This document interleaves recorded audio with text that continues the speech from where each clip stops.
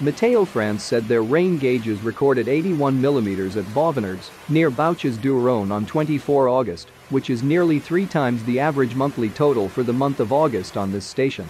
As much as 58 millimeters fell in just in one hour. Hail and high-intensity rainfall totaling over 100 millimeters fell in the town of Pignans in Var department, which was badly affected by flooding. The town was completely closed to traffic after streets were swamped with mud and flood water 30 centimeters deep, police said. Over 100 firefighters were deployed to the area and carried out 110 interventions. A total of 22 families were relocated after homes were flooded. No injuries or casualties were reported, Pignans Mayor Fernand Brun said.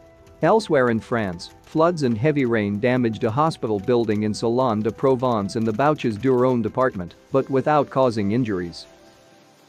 Subscribe to the channel and keep abreast of natural changes on the planet.